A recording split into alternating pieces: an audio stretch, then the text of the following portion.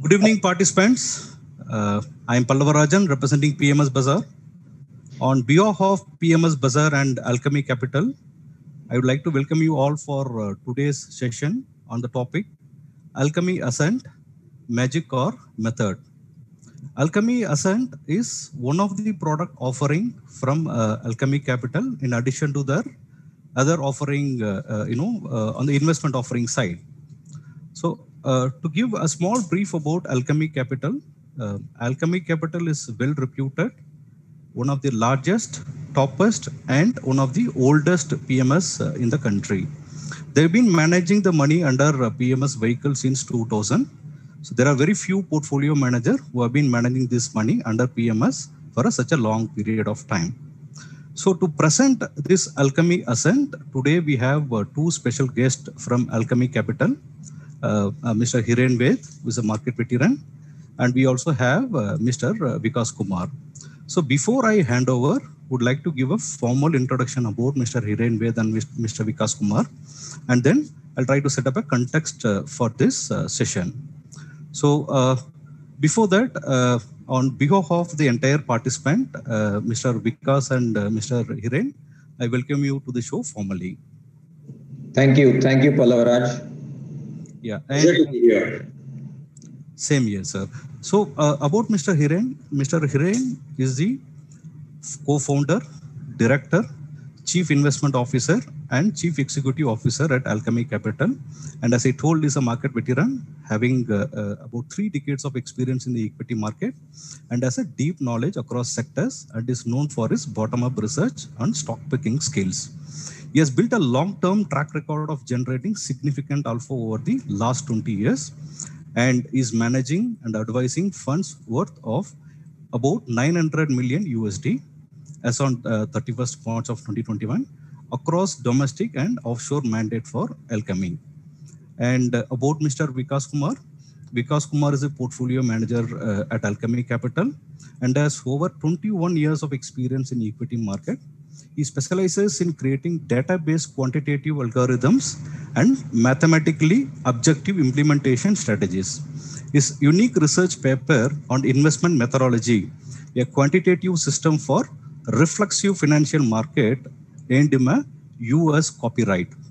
He holds a postgraduate degree in artificial intelligence and machine learning and is a BCom from Mumbai University.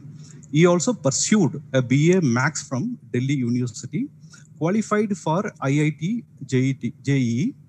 He was a state level national talent search examination merit scholar and one of the national CBSE toppers. Prior to Alchemy, he has worked with Dalal and Broacha stockbroking and collaborated at Reliance. He was also nominated as one of the best quant analysts in Asia by Institutional Investor magazine in 2009. Again, I formally welcome Mr. Vikas and Hiren for the show. And, and, and the context for uh, today's webinar would be initially Mr. Hiren Ved will, will talk for a few minutes and thereafter Mr. Vikas Kumar uh, will take forward the core presentation of Alchemy Ascent. Over to you, Mr. Vikas and Mr. Hiren. Well, uh, thank you, PMS Bazaar. Thank you, Mr. Pallavaraj. It's a pleasure to be here. And, you know, thanks to all the participants who have turned out in very large numbers. Uh, you know, thank you for your valuable time. Uh, as Mr. Pallavaraj mentioned that, you know, Alchemy is one of the oldest and one of the largest portfolio managers in the country. Uh, we we started out, you know, we set up the firm in 99 2000 immediately after the dot com bust. Uh, you know, there was a general sense of gloom at that point in time. And we were still relatively very young. And we always believed that when I used to see investors around me, that generally people would tend to participate in the equity markets towards the end of a big rally or a boom. And then there would be something in the external environment which would create a crash or a significant correction. And then for several years, people would wonder why they came to the world of investing in the first place. And as you all know, what we now famously call market cycles, these there are mini cycles and there are mega cycles. And every mega cycle leaves a certain psyche in the minds of investors. And therefore, more often than not, investors are generally spending a lot of time trying to figure out what the market is going to do, what is likely to happen going forward. Is the market going to go up? Is it going to go down? There is endless discussion about events that could change the course of the market. But the fact of the market the matter is that markets do what they have to do. And we as investors have to profit from what the markets are doing. We can, there is a limitation to what you can do in terms of predicting markets. So when we started out, we thought that, you know, there are constantly cycles in the market, but there is always a method to the madness to profit from it by investing methodically and trying to take advantage of the several opportunities that present in front of us. And we thought that there would be a need for professional management of money because people don't have time.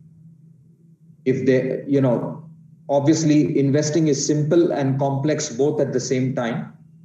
It's simple because you know, in any activity, there are certain simple rules and principles, but it's very difficult to follow them. It's complex because everything in the world impacts markets and prices. Sometimes it's politics, sometimes it's economics, and there is a mix of behavior and sentiment, which makes it very interesting and complex. And you all would have heard that you know, the uniqueness of the Indian civilization is that there is no one way to find God. There are several pathways to find God or to achieve spirituality. Similarly, we believe that to be able to profit from the markets and invest and make money and create wealth over the long term, there are several pathways to achieve that and you know sometimes people call it fundamental. Some people say i use technical analysis. You know somebody says i use another method. But essentially what everybody is trying to do is to profit from the markets and the opportunities that it throws us. Now we at alchemy we are very passionate about markets and investing and you know, while we I started Alchemy along with my co-founders in 2000, I came to the markets in 1991. And believe you me, the first 10 years is generally you're still trying to figure out what is happening. Those are the learning years, not that we are still learning. I think this is it's a constant learning machine but what happens is that over time, as you learn and as you understand, you start making a framework in your mind, which, with your experiences and with the learning, both theory and practice, you start developing a certain mindset, a certain framework, which guide your action. And very simply put, people say we do fundamental analysis, we try to value a company. And in trying to do so, you understand the business. And most of the time, you un- try to forecast what a business is likely to do. And we all, as fundamental analysts and fund managers, we spend a lot of time trying to forecast what can happen. But as, you, as we all know, that by and large forecasts are not, not very. And if all forecasts were accurate, then all analysts would be extremely rich. But because there is opportunity, money is made because there is an enterprising entrepreneur who executes on that opportunity. And he creates, and then there is an external environment which can sometimes be very favorable, sometimes be adverse to you. And how the business and the entrepreneur and the team executes on that opportunity, navigating all these externalities, is what finally gives you a result in terms of profits. And then market is a mechanism where these profits are discounted at a certain multiple and the value of a business keeps going up and you take advantage of it. So why we did this and we've done this for the last 15, 20 years, there is, you know, uh, we, we found that there was a very interesting way of trying to achieve this objective. And one of the things that we learned from our research, and obviously I will let Vikas talk a lot about it because he has spent many, many hours and years doing this, is that to find a great investment, you do not necessarily have to predict. Many times the numbers are all there, but we tend to ignore it we ignore it sometimes because we have a bias. And sometimes we ignore it because it's just humanly impossible to go through reams and reams of data across so many sectors and companies that it sometimes is humanly impossible to do it to capture every opportunity which is staring in front of us. And then a lot of time is focused on finding an individual company while what you make is how you build your portfolio what is the mix and what is important we found was that rather than spending time on predicting what a business can do it is very important to spend time on certain basic characteristics that a business should have which gives it an ability to become a winner. So a lot of this time is spent on, so we when we back tested, we went back and said, what made Bajaj Finance such a great company? What made Bharti a great company? What made Eicher a great company? And there are several great companies. What made Infosys a great company?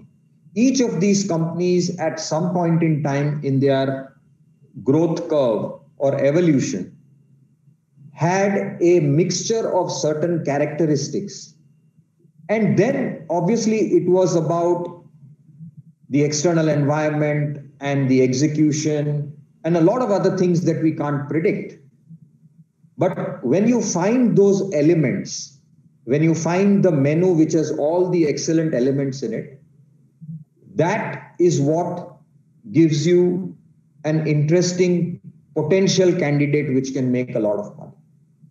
And in Ascent, that is what we are trying to do.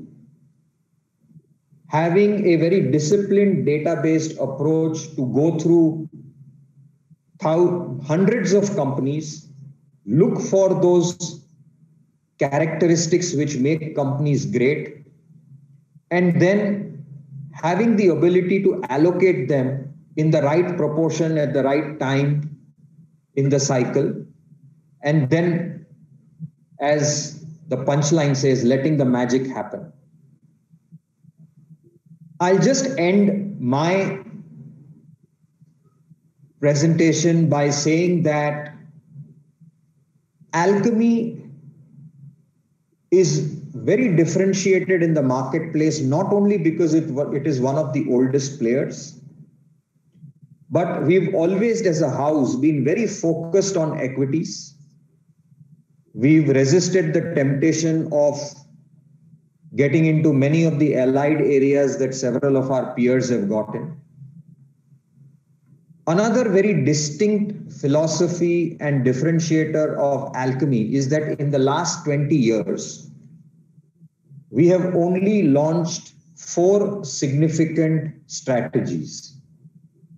And I'll tell you why this is important because we've always believed that you should be you should have a very high conviction in what you are doing. You should always have a very long term approach when you start something. We never do something which is opportunistic. That this is the flavor of the month this is the flavor of the year. Okay so now mid caps are doing well so let's start a small and mid cap strategy then tomorrow maybe the banking sector is doing well. So okay let's do a banking sector pms uh, or a strategy. You know then suddenly infrastructure is in favor so you will do something which is in infra- no. We we don't believe in that philosophy. And if you see if many of our peers who either may have been around as long as we are there or maybe less number of years by now they would have 7 8 10 12 strategies. And the, and there are several reasons that motivate to them to do that. You know i'm not getting into it. But all i can say is that the reason why we have fewer strategies is because we believe that we need to demonstrate to our investors that we can consistently over very long periods of time across market cycles make money for them. Yes there will be occasions nobody gets it right all the time nobody's at the top all the time but we have the conviction to run. Our longest strategy today has a 19 year track record. We were the first in the industry to start Alchemy Select, which was a very concentrated 10 12 stock portfolio. Today, that strategy has a 13 year track record, right? So, when we start something, we start with very high conviction, we believe in it, and we think very long term because so it's not as if कि ठीक है पैसा इकट्ठा करना है तो एक और स्ट्रैटेजी चालू कर दो this is the flavor of the month एक और strategy चालू कर दो अच्छा this one is not doing well let's start version 1.0 2.0 3.0 we do not believe in that if we have built something then it is with a lot of thought lot of conviction and with a very long thought process and that shows our commitment to our investors it also shows conviction in what we believe and what we do. And similarly, with the same philosophy, we believe that Alchemy Ascent is a very differentiated strategy. It's not anything to do to catch any fancy trend. There is a lot of work and years of experience and observation that has gone into building the basic core philosophy of how this product works. I hope all of you will enjoy this session. I will now hand over to my colleague Vikas. Vikas has been a central figure in the architect of this philosophy. And I will ask him to take you through the basic core thought process, what differentiates Ascent, and what is it that we are trying to seek in this strategy. And post that, we'll be happy to take any questions that you may have. Thank you so much for your patient listening. Vikas over to you. Sure. Thank you. Thank you, everyone. Um, as already mentioned, I uh, created the Ascent Fund at Alchemy and uh, I run it as a fund manager. Now, uh, thank you, Pallav, for uh, reading out my bio. One of the things uh, which additionally I would like to mention is that in my 21 year career, I did not have any salary for the first eight years. So I had to be profitable in different cycles in order to survive. Now, if you look at the uh, historical compounding of Dow Jones in the last 100 years, you will see that it is roughly around 7%. And the average debt interest rate for the last 150 years, as far as data is available, uh, is average around 6%. So the issue in markets I found is not about making money. Everybody makes money at some point or the other. The issue happens when uh, in keeping your profits that you had earned and in repeating that profit, profitability over cycles.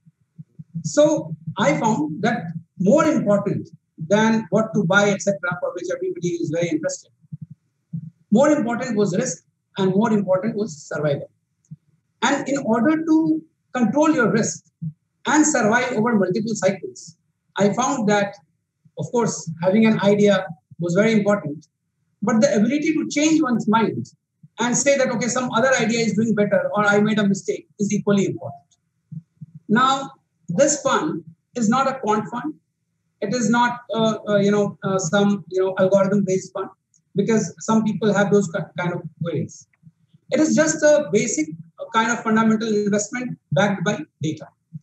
So uh, when you go to a doctor, there is a certain, you know, checklist that he follows, or there is a certain, you know, method that he follows.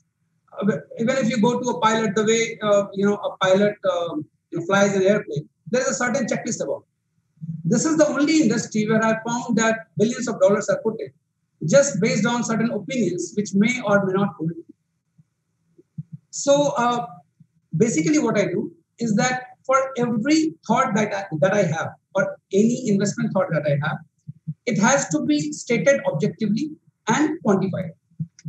So uh, there are five things uh, which is uh, those things are very different. So there are five things which we do totally different in Ascent. One, whenever there is an investment thought, it cannot be subjective. It has to be mentioned in an objective manner and it has to be backed by data. So let's say some people say that they have met the management of a company and they uh, they like that particular management. But for us, we would need some sort of a data, maybe a return on equity, or maybe a return on assets or some return on assets or something of that sort. So why do I need data? Is because I want to repeat my success and I want to be accountable when you know uh, let's say whatever we had projected or calculated is not coming out to be true. So to be accountable in success and to be accountable in failure, we need a certain data. And we also find that there is no human brain which can take the data of 500 companies, you know, looking at it over quarters and then processing it on a daily basis while the valuation and market prices are changing every day and come to a conclusion that, okay, these are the stocks we should be there. There are other issues, of course. For example, let's say as an analyst, somebody has 40 great ideas. And out of them, let's say 25, uh, you know, every year grows. But when you actually go to create a portfolio, you find that, let's say, there would be 15 to 20 slots in the portfolio, and your topmost ideas may not feature in, in your portfolio that you constructed. Maybe you had those ideas later in the year. And if you do not switch, then your portfolio is not going to reflect the returns of uh, uh, your uh, best ideas. So that is one. So everything has to be objective. Second is I do not ever make a forecast regarding markets or regarding where companies are going to go. Forecasts are fine, but I have found that when something becomes, let's say, an Apple computer or a Bajaj Finance or an Infosys, you will find that the data is already there on the table and there is a rate of change, things are developing. And every time, in fact, uh, surprisingly, you will find that in a stock which becomes a multi-bagger, it keeps on surprising analysts on the downside and the and a stock which becomes let's say goes down to the dumps keeps on surprising analysts to the sorry the the multi-bagger keeps on uh, uh, surprising analysts on the upside and reverse on the downside so we do not go by forecast we found that even let's say you take the best example in the world it's apple computers or microsoft or uh, Bajaj Finance in India, or you take Infosys, or you take Eicher Motors, any which way you, you take it, you'll find that there was enough data on the table on which you could have taken a call. Now, the flip side, the cost that you have to pay, when that data is not there, but somebody thinks that it is going to be there, then there is a huge cost to be paid. So we do not do any forecast. We go by the data. As I mentioned, it is because of the accountability that I need.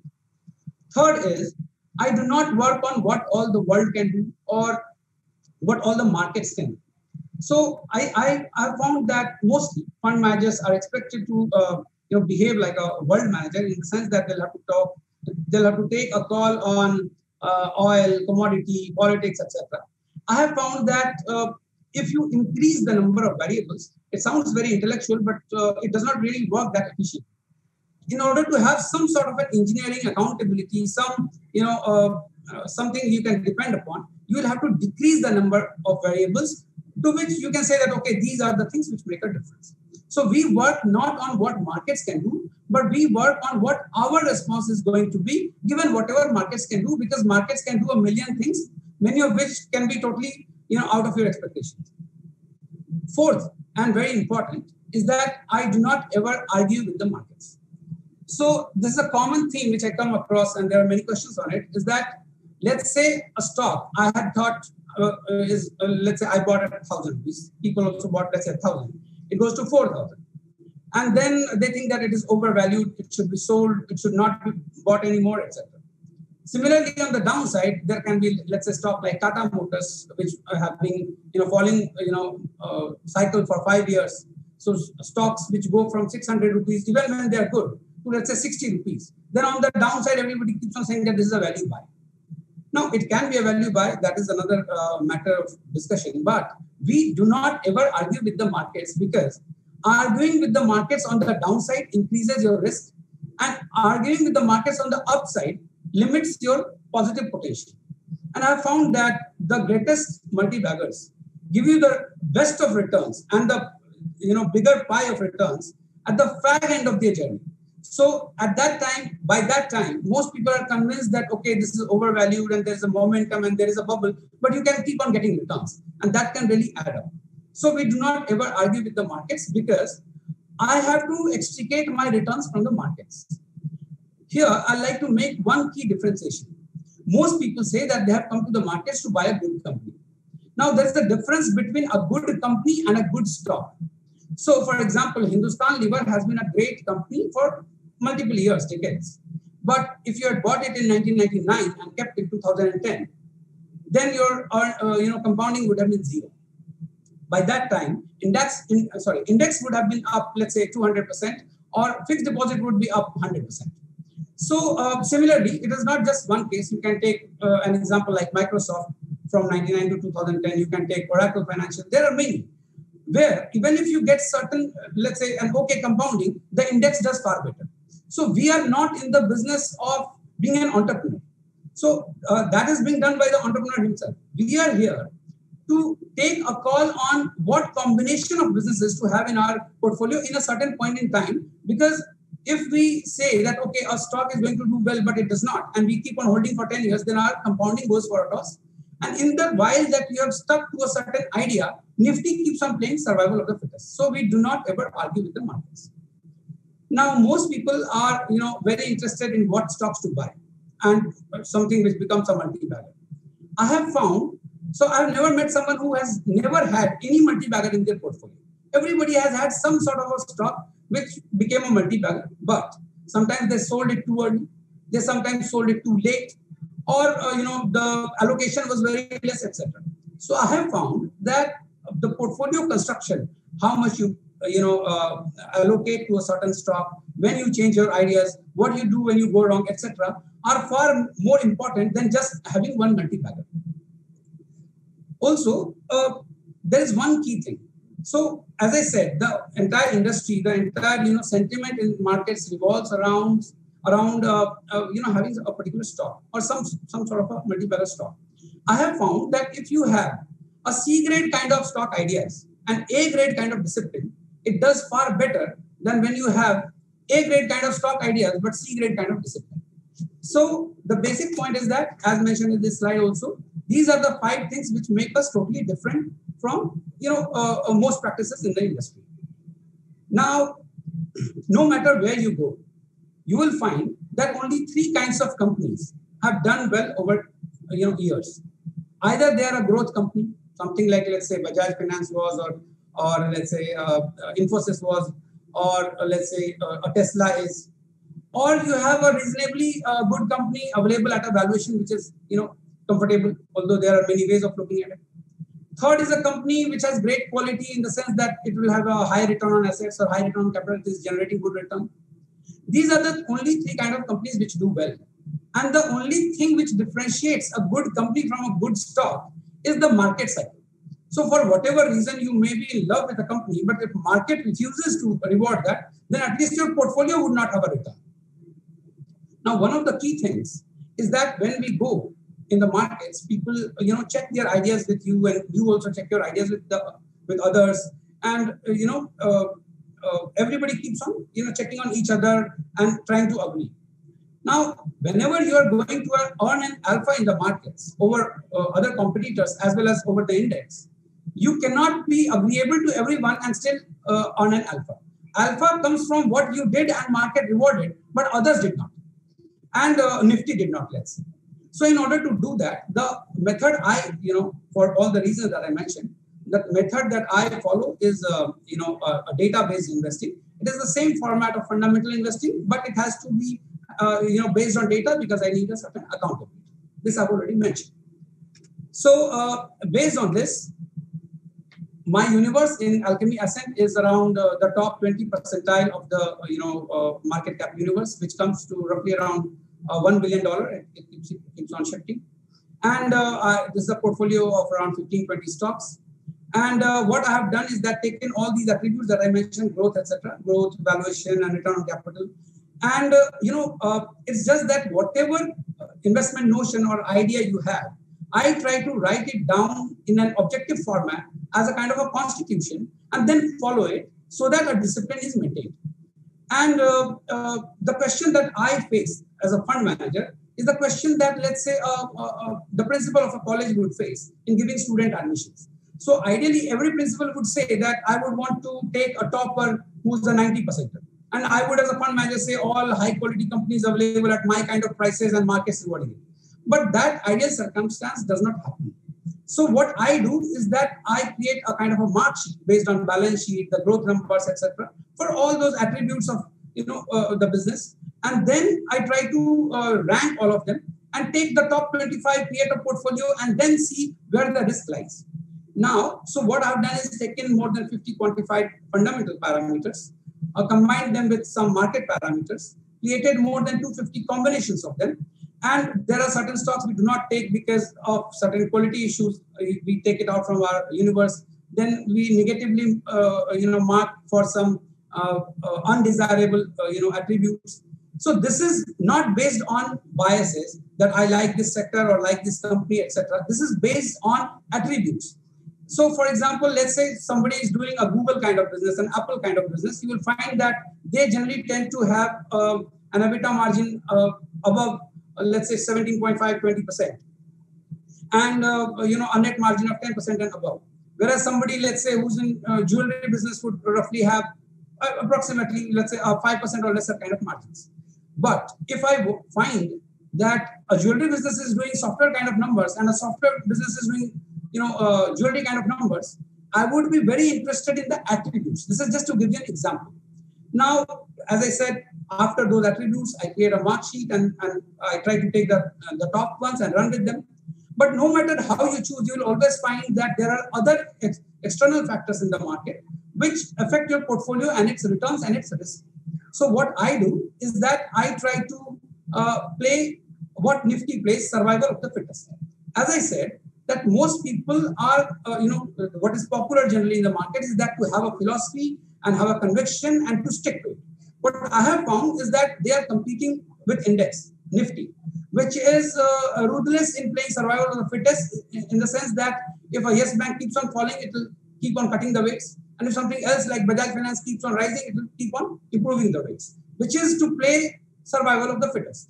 So after having a certain probabilistic kind of conviction on any stock or a company, we try to uh, play, you know, an evolutionary game in the sense that if something does not survive well, if it is wasting my time, if the risk in the uh, market increases, or if the fundamental, uh, you know, parameters deteriorate, or the numbers are not good, etc., then for some such reasons, which I would have written down as constitution, I would sell them. and then keep on running with the winners and keep on culling out the losers. So this is the basic construct. Now, when we started back testing in uh, at Alchemy, and it's been around six, seven years, after I already had a, a, a, an experience and track record of around 13, 14 years, then we first started from January 1997, as you can see on in the graph, and we found that we were able to create a good kind of alpha over index, which was doing 13 and we were doing 33. Now, uh, in order to do something worthwhile, which you know caught everybody's attention, I, you will generally find that good fund managers do a 20% to 30% kind of alpha on an average, in my experience, over the index. So I was trying to do better than that. So this is the line that we backtested from 1997. Now the question was that you know many in our team felt that maybe because it is 1997, it is looking better, etc. So we took a three-year and five-year cut of that particular line and we found that the alpha was similar. Now, this is the five-year record and this is the three-year record. Then, uh, you know, some of us believe that no, this is maybe because I got some, you know, tailwind beginning in 1997. So our team took 31 different random dates based on some were random dates. Uh, some said, let us start, uh, you start your strategy at the top of the market, at the bottom of the market, in the mid of the market, and you know take all these dates. So uh, we took around 31 dates and no matter where we started, we found that in a three year and five year and above periods, we were always creating a huge kind of alpha to the markets.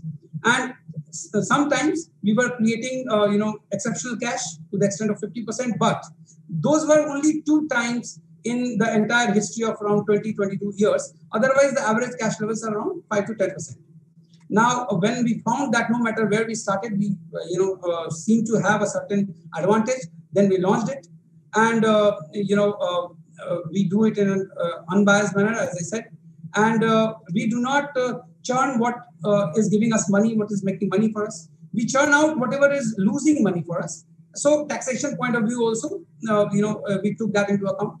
And then it was launched in 2019. And as you can see on screen, it has been uh, doing pretty well, even though in the last one and a half years uh, or two years, we have seen the kind of cycles that you generally see spread over 10 years. So this is what the current portfolio looks like and the uh, performance which is there, uh, for which you know we are all here. And uh, so, so this is the basic entire construct, the philosophy, the background, and and the results. So basically, I believe that in a uh, three-year period, we should be able to give a good kind of alpha. And uh, during the three-year period, the investor should have certain expectations and and there should be a certain yardstick of expectation that okay this is what is to be done so if you go through our records, you will see uh, the, the backtest shows, for example, here in this screen, that uh, if you look into uh, you know the time period outperformance parameters, you will see that we outperform the market 61% of the times only monthly, 63% quarterly, 82% yearly, but we always do it uh, on a three-year and five-year and above basis. So, uh, and the you know risk is always equal to or lesser than the index itself. Our index is uh, BSE 200 because our uh, minimum, as I said, market cap uh, allowed is around 6,000 crores. And for any particular uh, one client, we do not uh, invest for more than seven days in a particular stock. We do not try to participate for more than 25% of the volume, and so that you know that liquidity criteria is kept in check. And this is how this portfolio is done. Also, this is not a model portfolio approach on every day basis, whenever the money comes, we see where the market is, where we are, and construct a portfolio which can give us an advantage. For example, today, let's say the Nifty P is 35 plus and the growth is around 5% and return on equity is 9. You can create a portfolio with better attributes than this and try to control the risk. It should lead to some sort of a, uh, you know, alpha in coming years. So this is the entire construct philosophy and the way it works. So that is all, Palla, from my side. If there is any question, then we can take. Thank you, Vikas. Thanks for uh, giving a detailed presentation on Alchemy Ascent. Now we'll uh, move on to Q&A session. I would request Mr. Uh, Hiren also to join, uh, you know, uh, for this Q&A session. Yeah, Mr. Hiren and Mr. Vikas, uh, during the registration, we have collected few questions and we'll uh, put these questions first and then we'll move on to forum and we'll try to uh, address as much as question as possible we have uh, next 20 minutes time and in case if you could not able to address uh, any questions we ensure that you know these questions will be addressed offline during next weeks. So uh, I'll, I'll move to the first question. This is uh, broadly few questions are broadly based on your uh, portfolio, that is Ascent portfolio. So mid and small cap investment is considered to be a high risk, high risk investment. And we have found that Alchemy Ascent has a significant allocation to mid and small cap. I think uh, according to AMFI classification, it is 40% to small cap and 40 percentage to uh, mid cap and balance 20 percentage roughly into the large cap. So how do you manage the risk? And I see this portfolio is quite different from your other uh, portfolio because you don't have much similar weightage in the small cap space.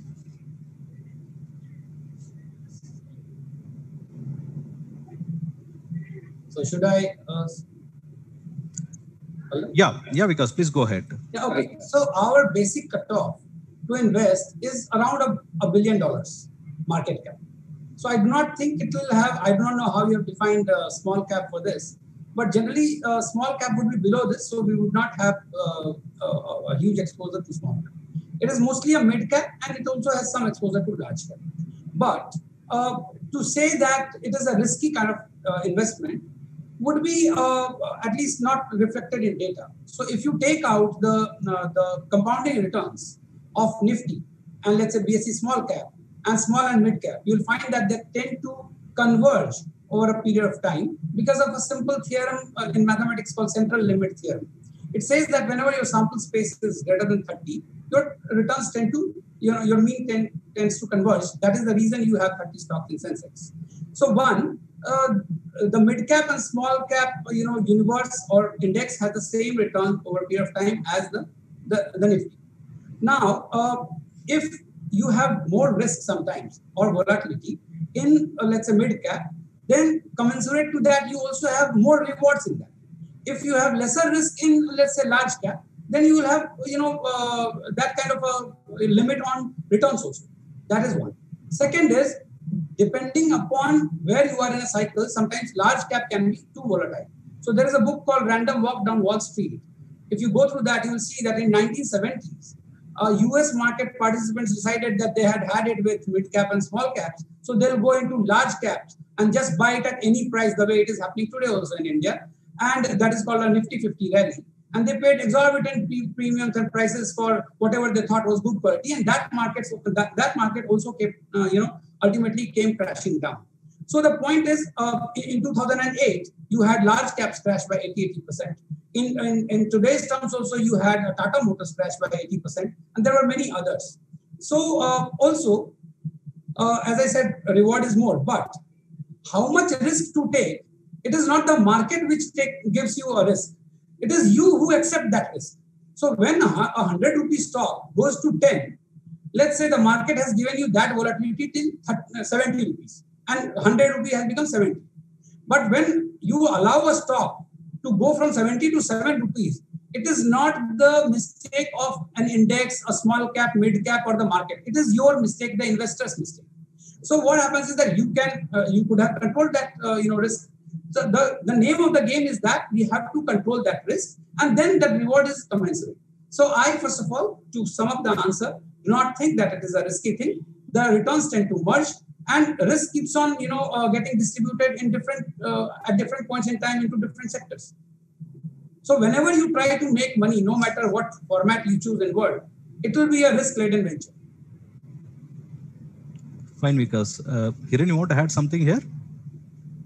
Yeah, all I'll add is, uh, you know, uh, this all definitions of large cap and mid cap are uh, you know, at a point in time, as Vikas mentioned that, you know, there are phases market. I've been in the markets for several years. There are phases where mid caps do well. There are other phases when large caps do well. The question is that doesn't mean that if you're buying a mid cap, you're taking larger risk. And if you're buying a large cap, then you're taking less risk. Because we've seen that large cap stocks can also fall by 50, 60%. Just look at the Sensex of 2008 9, right? Look at the stocks like JP, like RCom. They were all part of the Sensex, but they all fell dramatically. I mean, Sun Pharma peaked in 2015 at 1200 rupees. It was, it, you know, it's still considered a blue chip. It was a leading company. But between 2015 and 2020, after five years, the stock until very recently was trading at 500 rupees, which is down 60% from the peak. So I think it is it is a fallacy that we have in our mind that mid caps are risky and large caps are more safe. It depends on how you manage the risk. Every stock will have a risk return profile. How you create that trade off is very, very important. And I think one of the things that Vikas mentioned early on in the presentation is that it's not about how great a stock you have, but how disciplined you are in your entire process. And one of the things that we've taken care in the ascent strategy is that we've defined a very holistic, strong risk management system. So no matter what, whether it's a small, mid, or large cap, beyond the point if we believe that the risks are high, you know, it will cut the position. Uh, also, I'd like to add here, uh, uh, you know, uh, just to mention that Citibank fell from $600 to $3. It was one of the highest ultra large caps in the entire world. So it is about where you control the risk. That is, you know, I'm just giving an example. Okay, got it. So I'll move on to next question. See, the Ascent portfolio has a overwhelming overweight on a chemical sector. Would like to understand your outlook, uh, especially after this China one strategy on this uh, chemical sector. See, I do not go by the name of the sector. Uh, you will find that the greatest wealth, wealth creators have been people who have, you know, certain attributes. I go by attributes. As I mentioned earlier also, if a jewelry company can have a software company kind of an attribute. Now, I do not have overwhelming, uh, at least I would not call it overwhelming. So I had bought alkyl amines and Deepak nitrite for, I think, 5 to 7% for different investors. And because of the capital appreciation, it has become 15% and 12% now. Now, uh, one of the key things here I'd like to mention is that this is a portfolio which keeps on culling out its losers. So the risk that one sector would become, one stock or sector would become lopsided is extremely low. Why? Because when you have, let's say I have a two stock portfolio, one is not performing at all and one is going, you know, crazy on the upside. Then you can have a lopsided kind of allocation. Here, we control risk at a certain point, we cut that position and we, we, bring something new. So that lopsidedness does not happen. Also, in chemical sector, for example, alkyl amines. In chemical sector also, there are people who are not doing as great as alkyl amines. So since I'm getting those 20% plus kind of growth numbers at a certain reasonable valuation I had got, and I put a certain you know amount into it. So, so we have got uh, that return and hence there is some weightage, but I don't think it is lopsided. Secondly, we do not focus on what China can do and cannot do or will do to specialty chemicals. We go by what that particular entrepreneur will do, how they are showing their numbers and how they are managing their, let's say, debt, balance sheet, etc. So if somebody is able to give us a certain return on capital while giving a growth and the market is rewarding it and the risk is controlled, then we would go for it. And you will find that whenever something is cracking, let's say the stock is cracking very badly, intermittently you keep on having good news and the stock keeps on going up and then falling down. Similarly, when you have a, a bull run, you will keep on getting you know concerns all the time. So as a fund manager over a long period of time, you have to learn to live with these euphoric rallies in a bear market and these concerning falls in a bull market. As long as the market is rewarding and the numbers are in place, I will remain invested no matter what China does or any external factor does. So I, I guess I've answered both parts of the question. Hiren sir, you want to add, sir? See, all I'll say is that, uh, as Vikas mentioned, that, you know, in Ascent, we don't start with a certain hypothesis to say that we have to look at the chemical sector or X sector or Y sector. What the framework does is that it looks for certain attributes. Now, if it so happens that the in the current context, for example, the more and more chemical companies are showing superlative growth, margins are expanding, and are available at a reasonable valuation with reasonably controlled risk, it will pick it up. For example, like you know, one of the stocks that Ascent has picked is KPR Mills. It's in the textile industry. Now, I wouldn't have, you know, as a, as a as a active manager, probably I wouldn't have thought two years ago that I should be looking at a textile business, right? But the numbers were there. The numbers were there in front of it. And that's the beauty of the system, that the system is agnostic to a sector or why the sector is doing well or not doing well. What it is focused on is whether that particular candidate or a company has the attributes that we desire them to have. And if those desirable attributes are there at a good risk reward, then it would add it to the portfolio. And that is why, as I said, one of the things is that we all have biases. So, you know, I will say, okay, I want to buy a consumer company, or right now metals are doing well, so I will want to buy a metal company. But Ascent is secular and agnostic to these. Yes, it has bought a metal company, but it has also bought a textile company. And it has also bought a IT company and it has also bought a chemical company. Now, you, we could all add a narrative to explain why this is doing well or not doing well.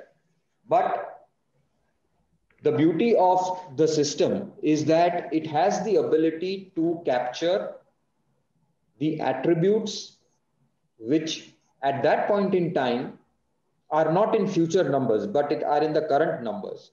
And then it can be from any sector, it doesn't matter. I agree with you, sir. I think that's the outcome we see that, you know, uh, the allocation towards financial in this uh, portfolio is hardly 5 6 percentage, whereas the benchmark allocation is about 35 percentage. So I agree with you. So I'll move on to the next question. So, uh, sir, I would uh, request you to take this question. This is broadly on uh, the passive strategy. So, what is your view on passive investment in India? Do you see a shift to passive strategies? See, I think uh, when you, when people refer to passive strategies, they mean buying an index fund or an index ETF. Uh, yes, in a say in a way you can say it is passive, but I think the Nifty or a, or any benchmark is very active, right? Because what the benchmark does is that it throws out companies which are not doing well and accepts companies which are doing well. So if you look at, you know, I, I, I, saw in the box somebody asked about the churn. And it's a very interesting question that how much do you churn? The question is that the churn is also a function of the environment. For example, uh, people think that, oh, if I invest in the Nifty, then I'm not churning. But that's wrong because the Nifty itself is churning, right? It's a self cleaning mechanism that it throws out companies which now obviously in a construction of any index there are certain rules why a stocks get in gets in or gets out you know there may be certain uh, uh, you know criteria with respect to uh, uh market cap or uh, liquidity or free float I'm not talking about those. But as a philosophy, I think one of the reasons why, in the West at least, the uh, passive investing has become big is because over a period of time, people found that it was not very easy to beat the benchmark, right? Very few people were able to beat the benchmark because the benchmark itself is very dynamic. Vikas, you want to add anything on this? Actually, uh, some, I think, months or one year back, Warren Buffett made this statement that one should go for these index funds and, and all that.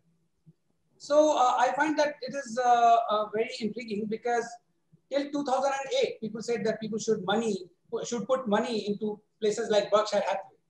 And since 2008, Berkshire Hathaway has been underperforming the index. So he says now that they should go for passive investing. Let me tell you that in my opinion, at least, passive investing is also a form of active investing because of the way the investor is taking that decision. The decision to go passive is, uh, uh, you know, an active call. Now, when you will find, now it seems a very small thing, but when you find actually everybody tries to be very risk averse and then they go for a very risk averse portfolio or a passive investment kind of thing. But when you find that your neighbor, your friends, your fund managers, everybody has done 100% and your index does 20%, then you break that discipline and suddenly go from passive to active. And it has also been seen, as I mentioned, that uh, an A grade discipline with a C grade idea is far better. It has also been seen that people switch from passive to active and active to passive at the exact wrong time. When they should have been active, they go to passive, and when they should uh, have been passive, they go to active. So uh, the decision to actually look into this is also an active call, and there are many ifs and buts into it. So for those who are going into it, I will suggest there is a, a effect called butterfly effect. It tells you that a minor change in any of the inputs can lead to a huge change uh, in, in, the output. For example, the flappings of the wings of a butterfly can lead to a storm somewhere on Earth. It is actually a, a known scientific phenomenon. In portfolio management, I have seen that happen many, many times because people go and you know ask others about what to do, etc. Take a call. But when the market actually, uh, you know, let's say falls down or does not do what you had expected, then people go back to what they originally were, and then the result comes back. So, so I think this sums up my answer. Fine, uh, Vikas. Sir, uh, there is one uh, question uh, that most of the investors wanted to ask you. Uh, this question has been asked to several, uh, you know, guests during my, uh, you know, webinars which we did for last couple of months.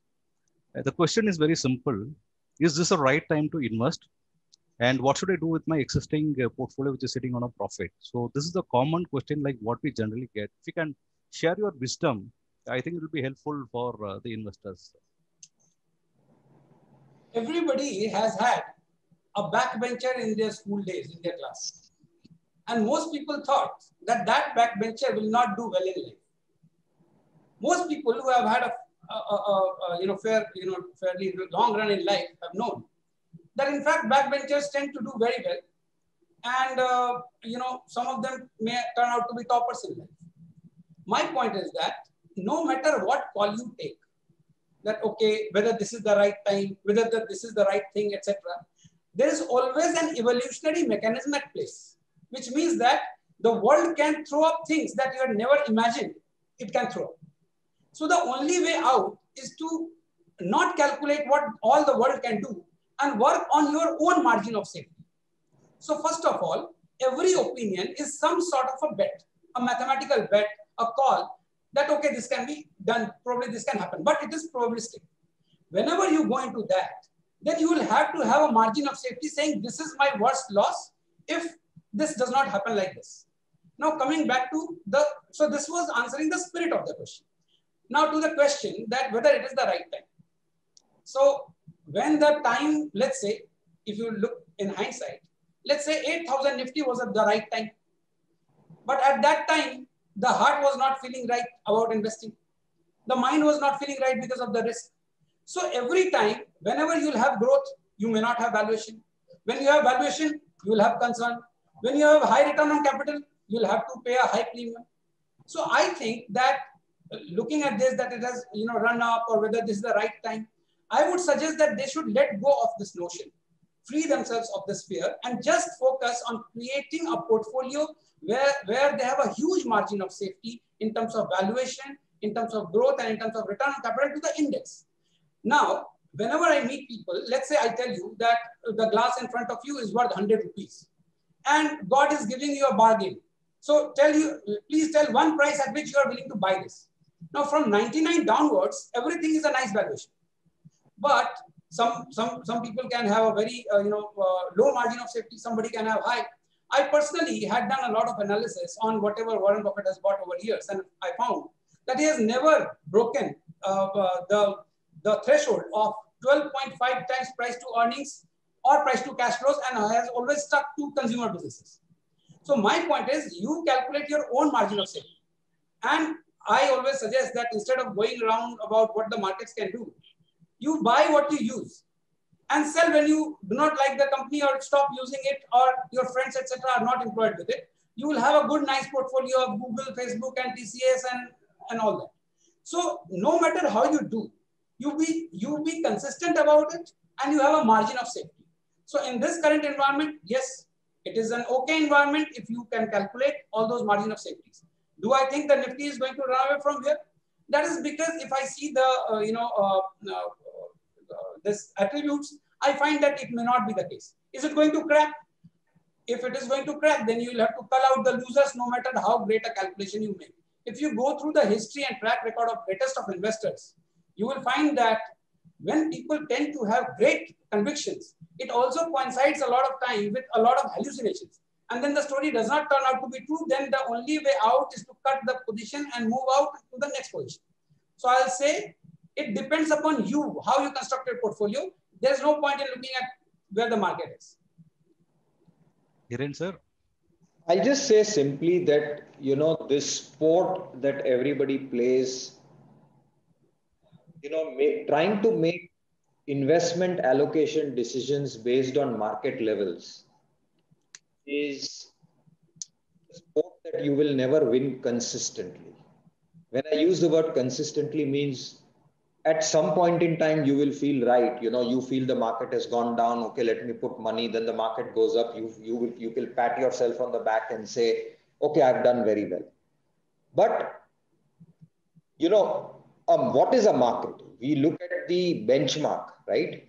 I mean, there is always something which is doing worse than the benchmark, what we call as the market. And there are many companies which are doing far better than the market. How can we take a decision to invest based on what is happening in the market or our expectations of what will happen in the market? And I keep telling people that accumulating wealth in a portfolio or a stock is like running a relay race. You are running several 400 meter rounds, right? In some round, you will have a massive lead. In some round, you may have a. It is the cumulative lead that you have when you run, run 10 rounds, it will decide whether you are a winner or not. Secondly, I never take a decision based on the fact that I'm making profits, so I need to book profits.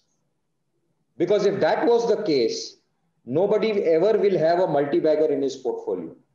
So let's say you decide, whatever it is, you, you know, somebody may decide that I will sell a stock if I make 25% return.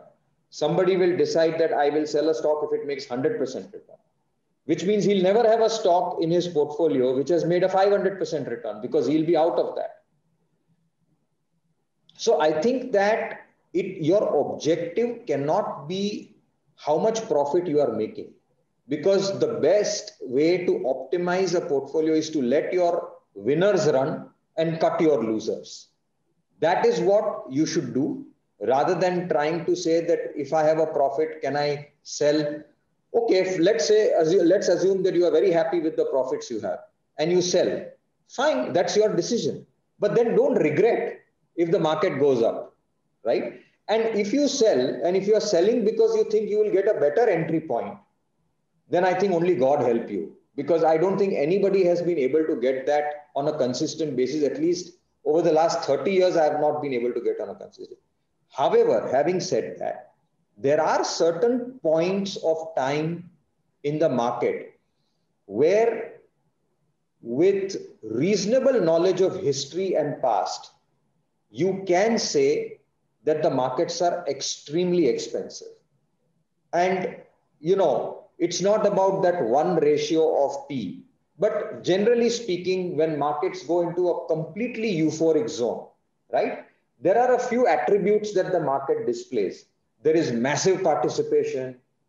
There are big narratives going on. There is some sector where there is a blue sky being, uh, uh, uh, you know, painted. And there is highest conviction at the top of the market. So whether behaviorally, whether from a valuation perspective, whether from a participation perspective, you know, there are points in time where it makes sense to say, no, I'm going to step away or I'm going to take some money off the table and I'm going to sit on the side because the risk reward is not in my favor. I don't think we are currently at that point in time for the overall market. There may be some, there is always some area of the market which may be expensive or cheap.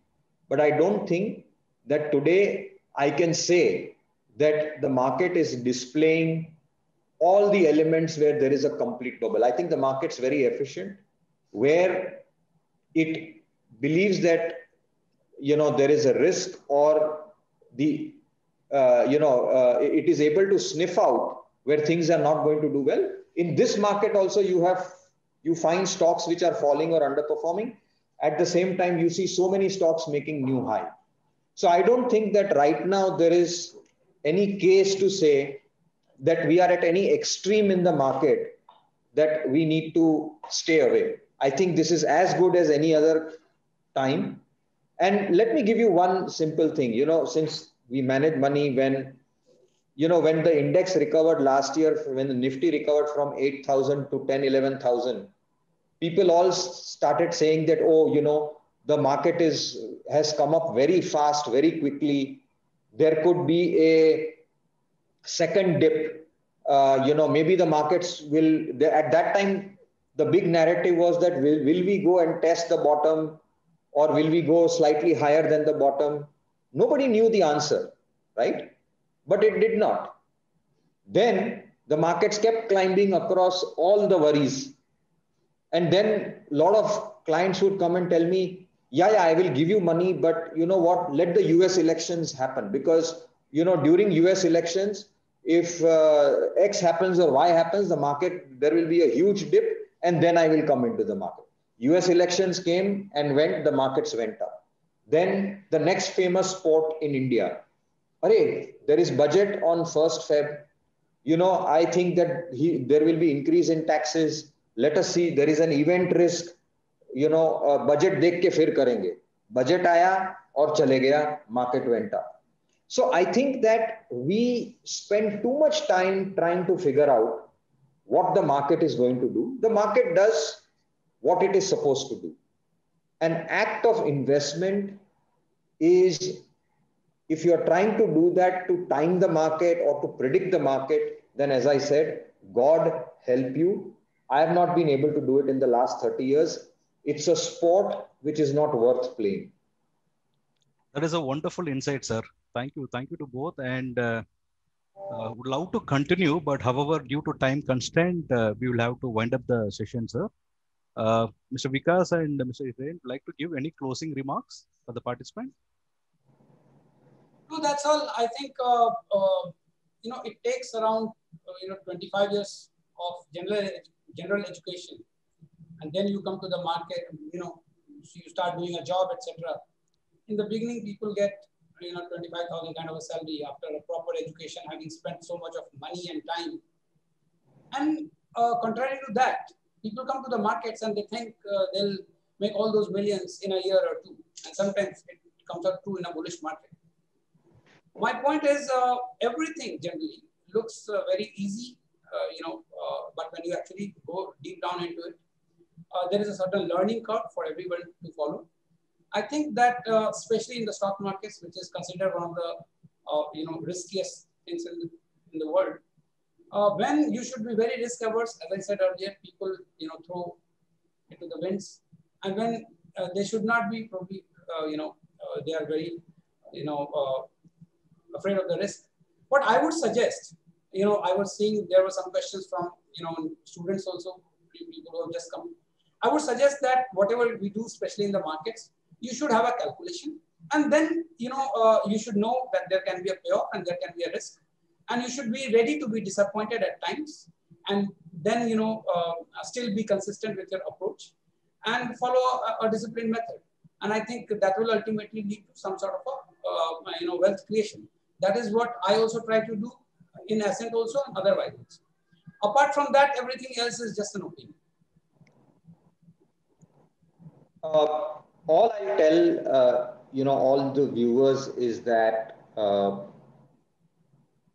investing is more about aptitude than intelligence. Okay. And aptitude is very, very important. I can tell you with confidence that unless you have a very, very long term view and a disciplined approach, forget it that you will make extraordinary wealth. Actually, in the markets, people have made fortunes. And when I say fortunes, I'm not only talking, you know, we all generally tend to talk about big personalities who have done phenomenally well. Obviously, there is always that 0.1% of the people who have tremendous ability to manage risk and take risk.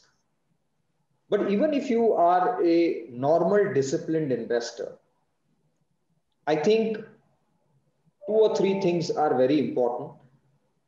One is that you should have reasonable expectations of returns. What can be given? The market will at times give you much more than what you expect, but it will never give it to you when you think you should get it. That's very important. Secondly, there are risks and there will be disappointments. There will be phases in the market which will frustrate you. This has happened to everybody, and you are not devoid of it. If you can't do it yourself, look for somebody who has done it consistently or at least survived for a long period of time. Because if somebody is in business for 10, 15, 20 years, then there is something right that they would have done to continue to do because the markets are very ruthless. They cut out or they weed out people who do not uh, follow a certain discipline. The market is absolutely ruthless. So to survive, you need an aptitude. You, you, you must have a very long-term view of making money. And don't try to hit in cricketing parlance every ball for a six. A great team has all kinds of elements in the team. It has a steady player, it has a pinch hitter, uh, it has a great runner between wickets, and you never know. You think the, uh, that the fours and sixes are important, but sometimes the run between the wicket is important, right? And it all depends. It's unpredictable. You don't know the weather, you don't know your opponent, and it's pretty much it is like this. You don't know what's going to happen. You may decide China plus one. Tomorrow something happens you may decide that oh this is going to get disinvestment but something else happens so i think it is an ever dynamic game and the more you play it with some framework in mind some method to the madness follow it consistently manage your risk i think there is a lot of money to be made but stop trying to predict markets stop trying to time markets and uh, all I would say is that, uh, you know, have the conviction. And uh, I think your experience can be very rewarded. Uh, you know, we at Alchemy are here doing this for the last 18, 20 years. Uh, we are quite passionate about what we are doing. You, you could hear the passion in Vikas's voice. And, you know, we'll be happy to kind of answer any further questions that you will have. Thank you all for your time this is this has been a, a great experience and i look forward to interacting with you again and thanks to team pms bazaar and pallavarajan you always put together a very good uh, event. Thank you. Great sir. So thank you mr hiren and thank you mr vikas for sharing your uh, valuable time with us. Thanks. and participants thank you and looking forward in hosting another such event. Thank you everyone